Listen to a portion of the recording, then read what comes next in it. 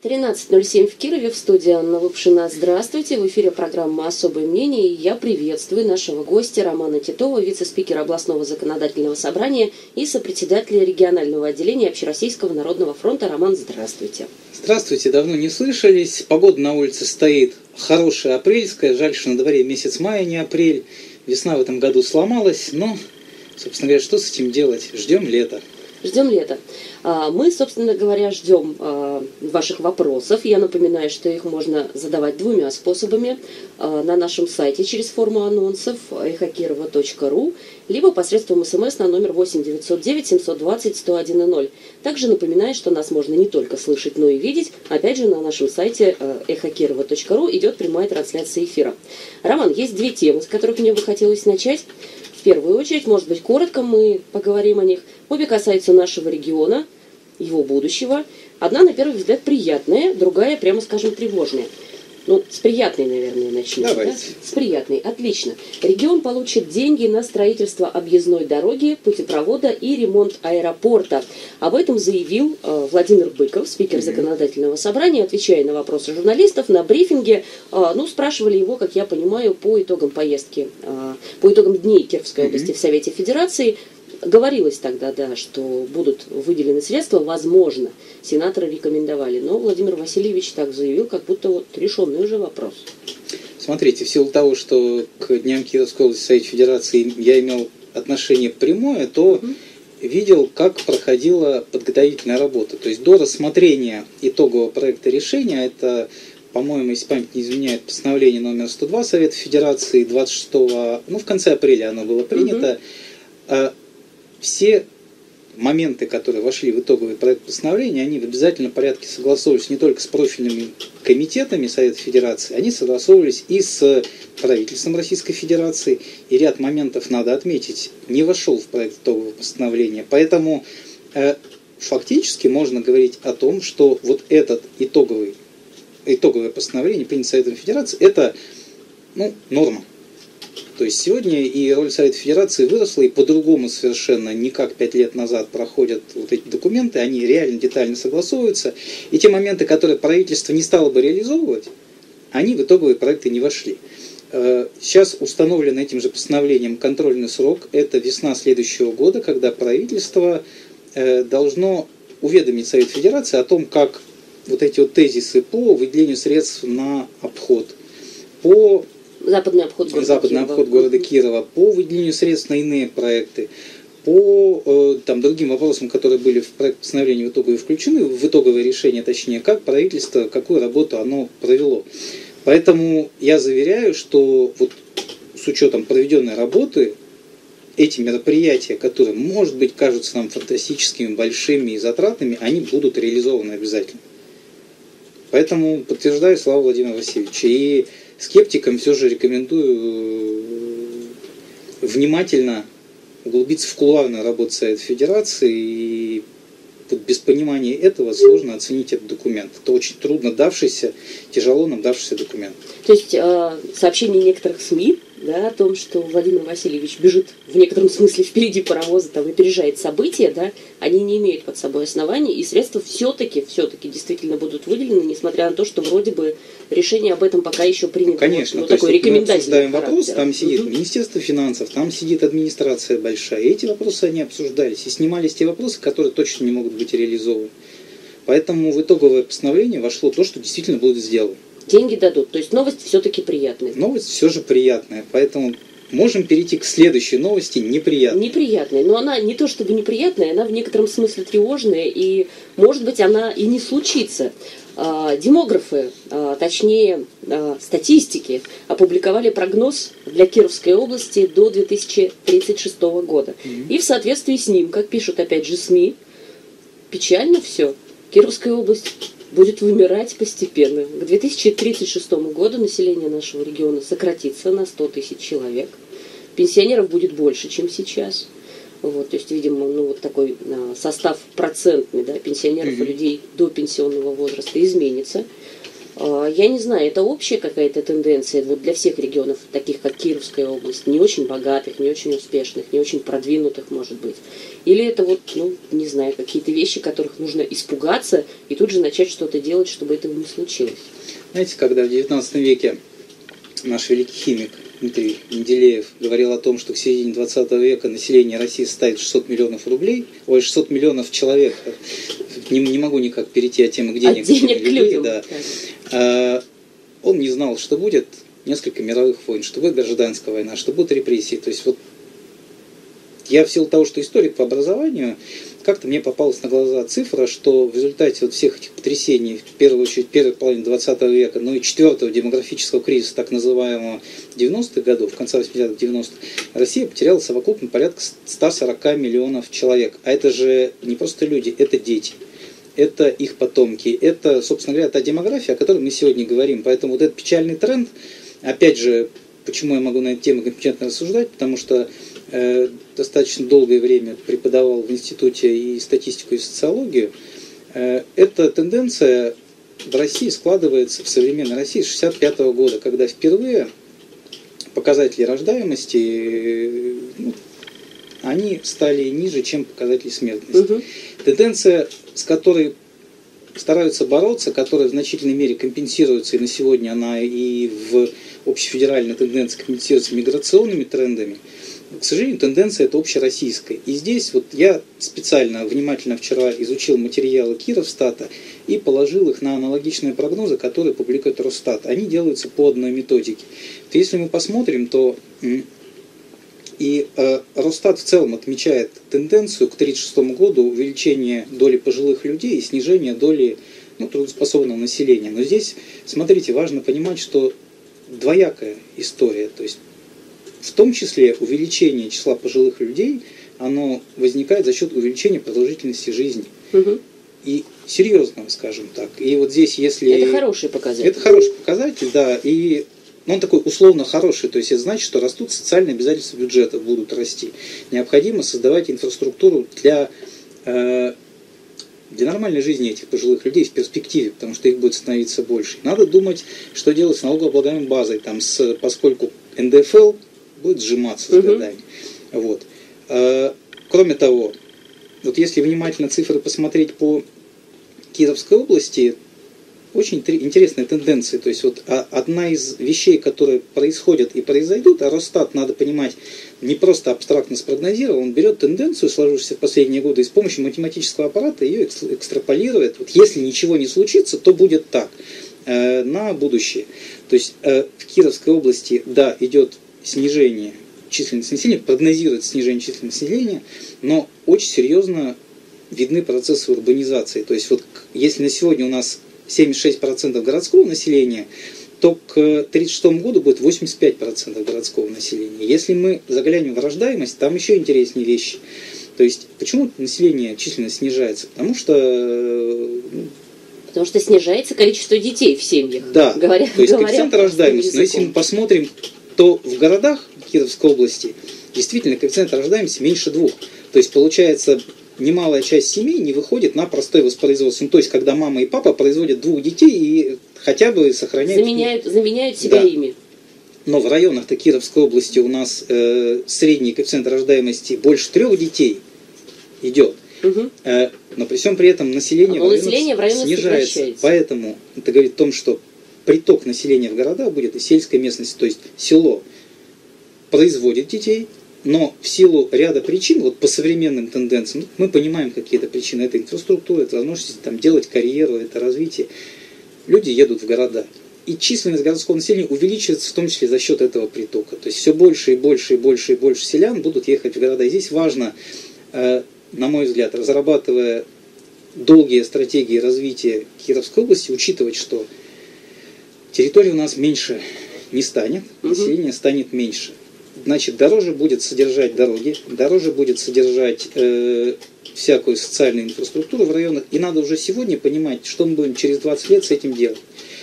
Э, переломить все эти тенденции Но это очень сложно. Это, это, это, понимаете, там вот это, это комплексный фактор, который в том числе вот касается очень тонких механизмов. Да, есть прямые вещи. То есть это, к примеру, те же федеральные инициативы по материнскому капиталу. Это работает, но это работает, ну, грубо говоря, там, на уровне, опять же, простого воспроизводства. А если мы посмотрим статистику по регионам России, то вот даже городское население в более традиционных, с традиционными укладами районов Северного Кавказа, нацреспублик, там коэффициент рождаемости существенно выше. Почему? Потому что, ну, в том числе женщины, традиционно уделяют время воспитанию детей. Они находятся дома, они воспитывают этих детей, это их основная работа. Но это возможно только тогда, когда мужчина на себя берет в силу того, что у него высокий уровень заработной платы, высокий уровень социальных гарантий определенных там обществ, берет на себя обязанность по содержанию семьи. А, и вот точно кавалерийским наскоком эту историю не решить и этот тренд не переломить. И его в одном субъекте не переломить. Это общефедеральная тенденция. Э, если смотреть по другим странам статистику, то, знаете, там вот Россию отличает, что мы рожаем как в странах развитых, как в Европе, то есть коэффициент меньше двух. А вот, к сожалению, смертность у нас пока еще на уровне стран развивающихся. Но вот с учетом того, что продолжительность жизни планируется серьезно увеличить, ну, дай бог, там этот тренд мы переломим. Еще раз, вот это прогноз, основанный на сегодняшнем состоянии угу. дел. И на нем надо основывать как раз стратегические некие моменты, в том числе и на федеральном уровне, по стимулированию рождаемости. В том числе, там, ну, в первую очередь, на что я обратил внимание, это стимулирование, собственно говоря, женщин воспитывать детей. Как бы, то есть я здесь, вот, знаете, хотел бы уйти от там, сексизма какого-то, да, но, к сожалению, это так. То есть вот этот механизм, он работает, когда женщина уделяет время, в первую очередь, семье, когда она может заботиться о двоих, троих, там, четырех детях, но это позитивный тренд. Но, Роман, мы же понимаем, да, что э, только возможности там, для зарабатывания денег мужем недостаточно для того, чтобы И инфраструктура поддержки детей. материнства, детства и многодетных семей, конечно. Она должна включать и детские садики, и, и детскую медицину, правда же? Да, но смотрите, кстати, вот если говорить об эффективности работы тех же механизмов мат-капитала, угу. вот интересная цифра, в 2005 году, то есть до введения на старте вот всех этих э, историй, у нас коэффициент рождаемости в России был 1,29. Ну, то есть около одного ребенка на семью. Угу. А на сегодня в среднем он уже где-то 1,7. То есть работает. То есть механизм работает, работает. но мы до, до простого воспроизводства мы даже не дошли еще. Не добрались. Да. Ну, значит, надо предпринимать еще какие-то шаги, я так понимаю, да, чтобы ситуация печальная хотя бы оставалась думать, на, да. на прежнем уровне, а не развивалась в негативном направлении, Конечно. который нам а, прогнозирует. Сделаем небольшой перерыв и вернемся. Напоминаю, слушаем особое мнение Романа Титова, вице-спикера областного ЗАГС Собрания и сопредседателя регионального отделения ОНФ. Мы возвращаемся в эфир, продолжаем выслушивать особое мнение Романа Титова, вице-спикера областного ЗАГС Собрания и сопредседателя регионального отделения ОНФ. Ну вот к, тем, как, к темам ОНФ как раз и обратимся. Кировские СМИ сообщили на прошлой неделе о том, что следователи возбудили несколько уголовных дел из-за некачественного жилья. Речь идет о предоставлении квартир детям-сиротам в Юрье и о домах для переселенцев из ветхого жилья в Оричевском районе. На вашем сайте я видела э, новость о проблемном доме в Зуевке, тоже уже не первый как бы месяц да, тянется развивается история. Я так понимаю, что развитие эти все истории получили именно после того, как люди обратились к вам. В УНФ я имею в виду. Да, и это долгие, давние истории. Кстати, вот если говорить о ряде домов для переселенцев в Оричах, то мы тревогу били еще на стадии строительства. Это Орич или Стрижи все-таки? Э, в Оричевском районе. Угу, Стрижи, угу, да. Угу. Э, тревогу били по ряду домов еще на стадии строительства, поскольку выезжали, фотографировали, были вопросы к качеству материала, были вопросы к качеству строительства. И на тот момент с ответственными лицами в предыдущем правительстве Кировской области мы встречались, все эти фотографии показывали. К сожалению, выводов-то не было сделано никаких. То есть, да, встретились, да, обсудили, да, разошлись, и, собственно говоря, дома потенциально некачественные были построены.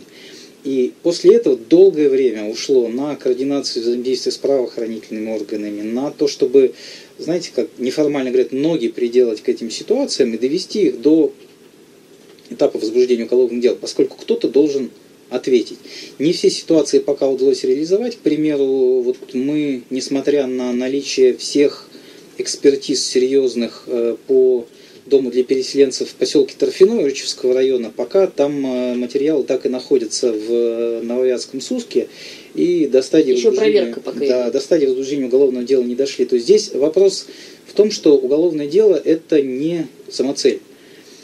Цель это наказать виновных лиц и добиться защиты прав людей, которые в этих домах проживают. Да, мы работаем по заявлениям граждан, да, мы работаем инициативно. И, честно говоря, хотелось бы надеяться на то, что новое правительство и нас услышит и учтет те замечания, которые мы неоднократно формулировали при реализации перспектив программ переселения в будущем. Потому что теперь мы понимаем, что после сентября 2017 года с переселением завязано не будет, то есть есть Ну, установка вы уже сказали, федерального что центра. программа не заканчивается. Да, есть установка федерального центра, но надо менять механизм, потому что все эти проблемы, они возникают так-то по одной причине. Из-за совершенно кривого механизма приобретения этого жилья в районах. То есть э, район же не получает деньги впрямую, э, которые торгует и заказывает строительство дома. Нет, все происходит не так. То есть районные власти договариваются с каким-то застройщиком, возведи нам дом заданной конфигурации, вот квартиры такие-то, вот под конкретных переселенцев, мы у тебя в конце года этот дом Выкупим. выкупим с аукциона, на котором, разумеется, всегда бывает единственный участник. Эти аукционы, они помимо того, что, ну, они такие формальные, да, то есть один участник это не аукцион, там снижение цены не происходит. Все это приводит к чему? Во-первых, э, администрация покупает квартиры, не контролируя строительство дома, как было бы с деньгами бюджетными, если бы они были Мгм. заказчиками строительства. С самого первого этапа, с самого первого кирпича. То есть они покупают некую вещь в мешке, э, кота в мешке, который контролируют они строительство дома, ну, фактически только на этапе э, ввода в эксплуатацию. Квалификация специалистов по строительству в районах крайне низка. И я не исключаю того, что многие проблемы с тем, что некачественно дома введены в эксплуатацию, они связаны с тем, что просто люди малограмотные, некомпетентные. А, то есть они не видели, что все плохо. Часто это решение принимается ну, комиссией, в которой мало компетентных людей. Это в районах. В Кирове Мгм. немножко по-другому ситуация разворачивается. Кроме того, э, вот фактически при приобретении с этих аукционов застройщик недобросовестный, он оказывается вне удара. То есть, если, к примеру, администрация, которая купила, приняла, точнее, через аукционы купила некачественное жилье, им можно вменять халатность, то застройщику мошенничество вменить очень сложно. Да, мы знаем, что он построил дом некачественно, но ведь он его не навязывал никому, он его строил не на бюджетные деньги. Он был приобретен. Видели, что покупали, что Да, видели, да? что покупали. И вот это основание, оно опять же дает возможность здесь наказать всех. В первую очередь тех, кто неосновательно обогатился, получил деньги со строительства некачественного жилья. Оно некачественное почему? Да потому что застройщик экономит, увеличивает свою маржу, Мгм. стараясь заработать вот на этих деньгах.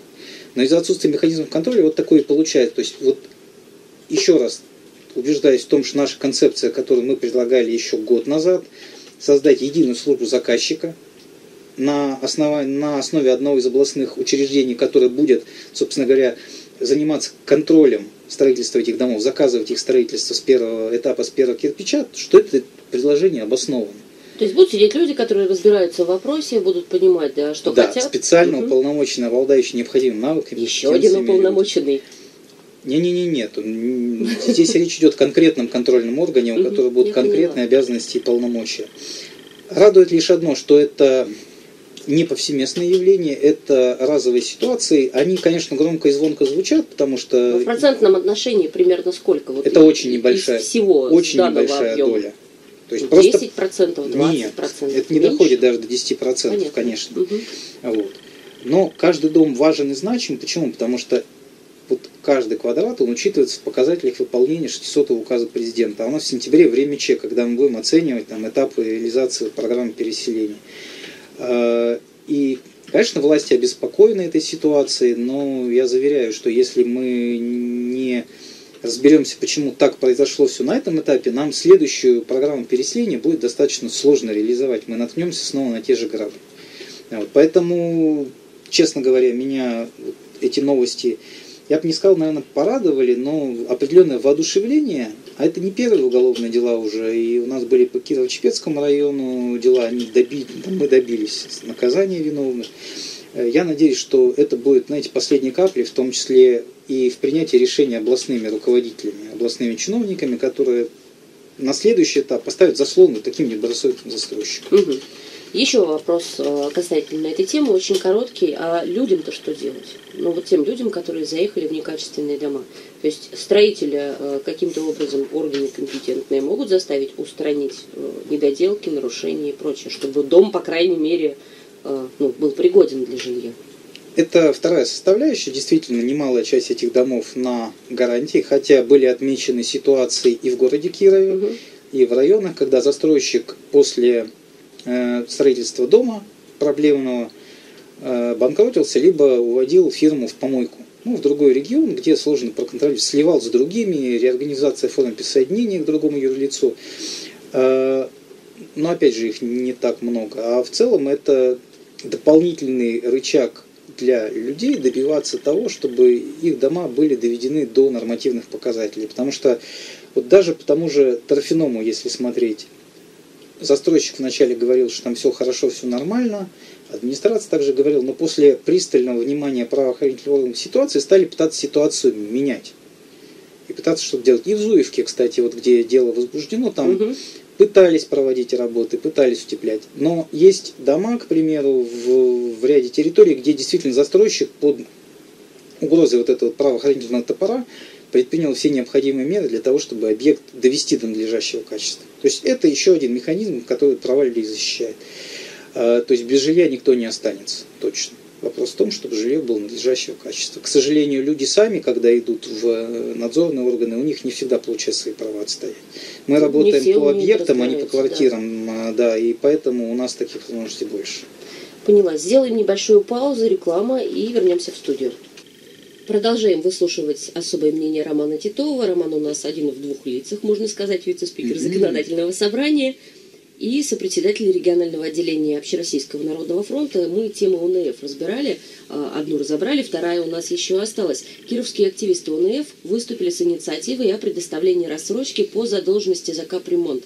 Тоже тема была на прошлой неделе. Насколько я понимаю, а, обосновывались ну, вот эти вот заявления, в том числе тем, что в других регионах такая история есть. В частности, приводится в пример Пермский край, по-моему, да? Много а, таких субъектов. Не только там. Нет, там большое количество, везде разные механизмы. Где-то угу. это возможность предусмотрена законом, где-то постановление правительства, но в большинстве субъектов это регулируется на уровне нормативки фонда капитального ремонта. Угу. Это нужно зачем? Ситуация настолько серьезная с неплатежами э, в Кировской области, Смотрите, что нужно уже как-то ее регулировать или это вопрос, э, задел на будущее? Это вопрос социальной стабильности, потому что у нас на сегодняшний момент установлен такой э, порядок предоставления льгот, ну, льготным категориям граждан, что если у тебя нет задолженности, ты льготу получаешь. Угу. Если у тебя есть задолженность, в том числе задолженность по фонду капитального ремонта, то ты льготные средства не получаешь. Странно на самом деле, потому что ты их потом все равно получишь. То есть эти деньги никуда не деваются. Они, грубо говоря, копятся на тебя, и потом, когда ты гасишь свои обязательства перед тем же фондом капитального ремонта, ты средства, которые тебе должен бюджет, получаешь. Во-первых, эти средства это тоже платежный инструмент, в том числе за долги, за коммунальные, угу. раз. А, во-вторых, многие семьи, которые вынуждены являются неплательщиками по фонду капитального ремонта, они находятся в трудной ситуации, и обрезать им пособие, ну, наверное, неправильно. В-третьих, часто бывают ситуации, не часто, нередко, скажу так, когда, э, ну, скажем так, фонд капитального ремонта проводит некие корректировки, и жители в домах получают квитанции с ого-го какими цифрами, вдруг внезапно там, да? Ну, вот, то есть речь идет о том, что когда-то не выставляли счета, например, там, да, месяц, два, три. В силу целых, целого ряда причин. А потом проводится корректировка, и люди получают счета, которые они, разумеется, не могут оплатить. Ну, как было тут... в январе этого года с, платеж... с платежками за отопление, да? Да, да, да, да, да. перерасчеты вот эти. И вдруг людей лишают э, права получения льгот, которые, они, которые им положены.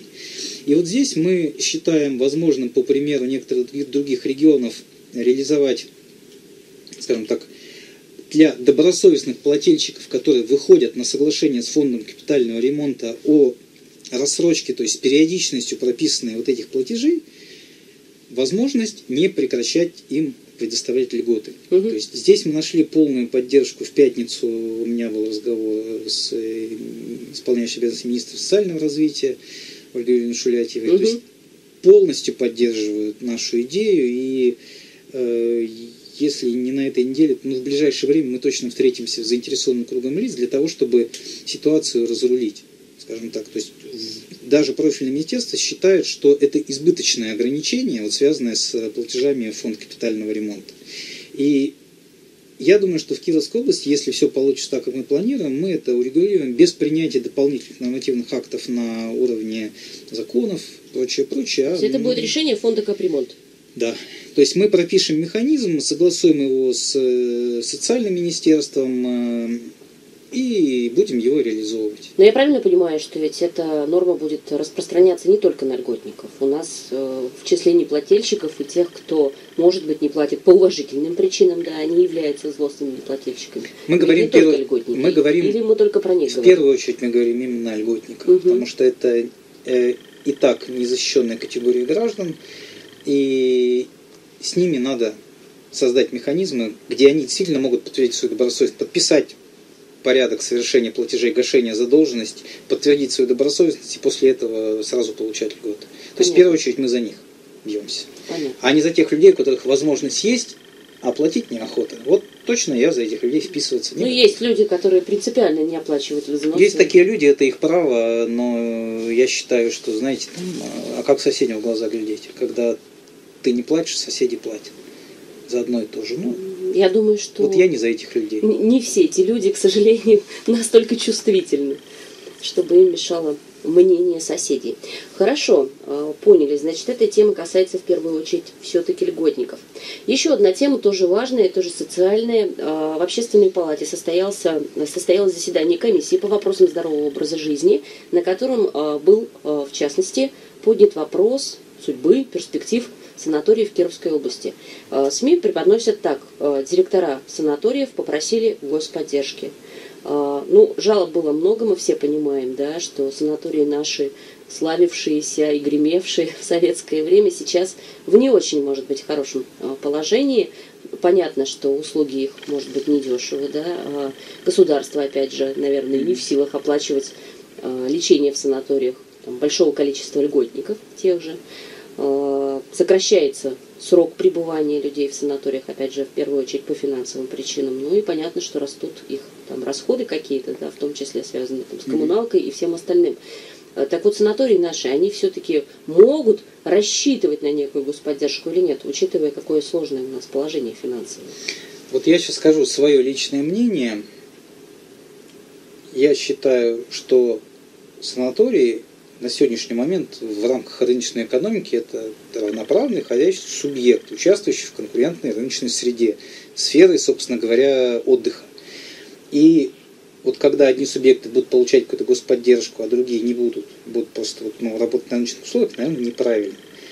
И я сторонник того, что если вы видите, что вы не справляетесь с содержанием инфраструктуры, вам не хватает клиентов, решайте вопрос о том, что продать этот имущественный комплекс тому, кто вложит в него деньги, кто займется привлечением туристов и отдыхающих, в том числе из других регионов Российской Федерации. Ведь мы видим успешные примеры в, близлежащих регионах, когда санатории приватизируются, туда заходит собственник, который развивает те услуги, которые пользуются спросом.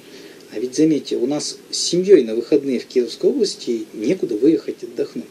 В то же время в э, Татарстане, в Подмосковье, в Пермском крае есть на базе санаториев организован досуговый комплекс. Берешь тур выходного дня, едешь с семьей, СПА-процедуры, бассейн, душ Шарко, хорошее питание, детская анимация и прочее, прочее, прочее. Люди платят деньги. Но мне казалось, у нас тоже такое есть, нет? Ради интереса посмотрите цены на санаторные услуги. Так. Вот для меня эти цены, а, высоки, б, не обоснованы по количеству представляемых услуг. Опять же, это мое мнение. Сервис не соответствует запросам. Это дорого, и по сервису я не говорю за все учреждения, потому что ведь есть те, которые денег не просят. Угу. Они работают и успешно конкурируют и привлекают туристов, отдыхающих из других регионов. И вот их голос здесь на совещании не был слышен. Но есть те, у которых не получается. Но не получается, тогда давайте принимать меры. Вот кормить финансировать, скажем так, может быть не совсем эффективный менеджмент за счет бюджета, ну, наверное, неправильно. Ну, мне так кажется. Роман, ну что делать с льготниками? Э, люди, которые будут э, относиться к санаторию как исключительно коммерческому какому-то предприятию, которое должно приносить прибыль, и уже не заобязуешь никак. Льготные категории граждан пролечить, принять Во-первых, на отдых. вот еще раз повторюсь, у нас есть учреждения, которые работают успешно, и в том числе с льготными категориями граждан. Я угу. название не буду ну, не, не будем рекламировать. Но мы понимаем, там, о ком идет речь, у них все хорошо. Находятся они недалеко от Киева, 30 километров, там, и с льготниками работают, и реабилитацию проводят, и по разным категориям граждан. Но почему-то у других-то не получается. Вот по льготникам, кроме того, механизмы субсидирования именно отдыха льготника без необходимости содержания вложений в инфраструктуру, в поддержку вот самого учреждения, они же есть, эти механизмы. То есть, когда деньги идут за льготником, который покупает путевку, они идут в учреждение, которое собирает на себя льготник. Угу. А льготник выберет, где за предусмотренные бюджетом средства ему дешевле и выгоднее отдохнуть. Вот я считаю это правильно. У нас в школах, в конце концов, уже подушевое финансирование по льготникам, так же, как мне кажется, должно быть. То есть, вот куда они едут, туда и деньги за ними приходят. И тогда будет конкуренция, в том числе за бюджетные деньги. А то, извините, загнать льготников в резервации, э, где их ничего не буду говорить, там, где услуги будут ненадлежащего качества, я не говорю про все эти учреждения, я в целом. Но я считаю неправильно. Люди должны иметь право выбора, а вот резервации создавать не надо. Поэтому вот это, еще раз повторюсь, мое мнение, и я вижу по другим регионам, что это так. И я вижу, что в Кировской области мне некуда выехать с семьей, отдохнуть на выходные вблизи Кирова в хорошем, комфортном и разумном по цене месте. И я думаю, что это не моя только проблема. Я вижу примеры санаториев в Подмосковье, которые были перестроены вот под эти туры выходного дня. У них всегда полно людей. Путевки купить сложно. И когда смотришь цены на путевки, они не такие дорогие. То есть в Подмосковье дешевле, чем у нас? Есть многие места и достойные места, где действительно дешевле. Угу. Ну хорошо. А, с этой темой тоже, наверное, а, завершимся пока. А, еще один вопрос, который хотела задать, касается свалки в Осенцах. Угу. Тема ваша, вы ее ведете, но в последнее время что-то не слышно, что происходит вообще в этом вопросе. Можем ли мы каким-то образом дать людям знать, развитие ситуации будет какое-то или нет? Потому что, ну, тяжело же все это. Все-таки нужен полигон знаете, там ситуация двоякая. С одной стороны, полигон нужен, с другой стороны, есть э, мнение общественности, которое нельзя не учитывать. Могу сказать, как дела обстоят на сегодняшний день. То есть вот только что иду в совещание, на котором, совещание по году экологии, на котором была озвучена тема, что по просьбе федерального центра из программы года экологии в Кировской области организация э, полигона в Осенцах исключена. Так, то есть это окончательное Раз. решение? Значит, два. Вот у меня в руках от 23 марта письмо, угу. подписанное руководителем соответствующей организации, о том, что собственник отказывается от заключения концессионного соглашения с правительством Кировской области о строительстве полигона и переработки бытовых отходов в Осенцах в рамках там, частного государственного партнерства. Напомню историю строительство Сенцов планировалось в рамках ЧГП, ну, концессия так называемая. Угу. В начале концессионное соглашение было приостановлено со стороны правительства Кировской области год назад. А, и с того момента работы там никакие не велись.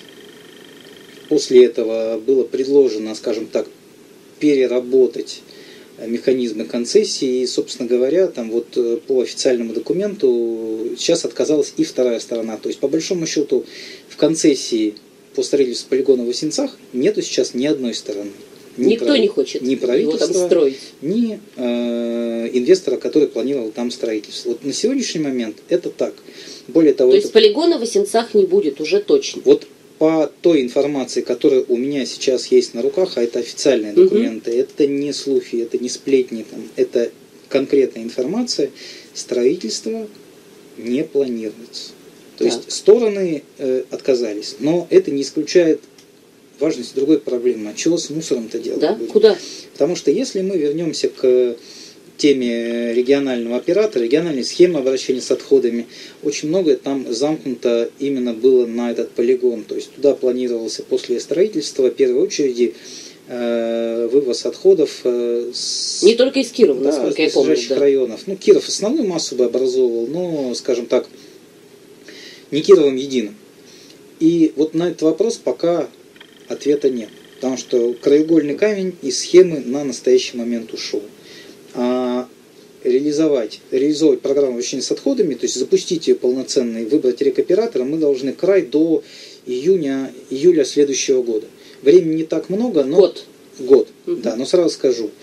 э, Сейчас большой интерес э, появился к этой теме со стороны негосударственных пенсионных фондов, которые инвестируют деньги в, уже во многих субъектах. К примеру, в Чебоксарах был полигон построен на деньги одной из пенсионных фондов.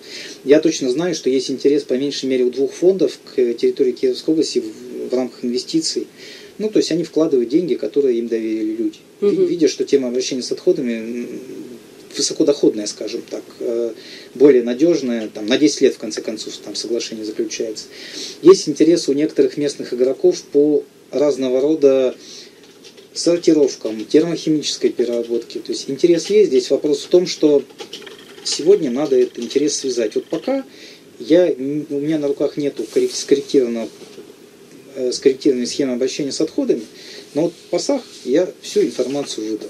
У меня, скажем так, я вижу, что есть определенный информационный вакуум, и, вот, слава богу, вопрос задали, и мы можем его восполнить. То есть ситуация я владею, на сегодняшний момент она такая. Понятно. То есть ждем все-таки какого-то решения, да, по неким объектам, которые ну, нам Да. предложат в качестве выбора, да, место для размещения полигона. Особое мнение Романа Титова, вице-спикера областного заксобрания и сопредседателя регионального отделения ОНФ завершается. И Анна Лапшина прощаюсь с вами. Роман, до свидания. До свидания.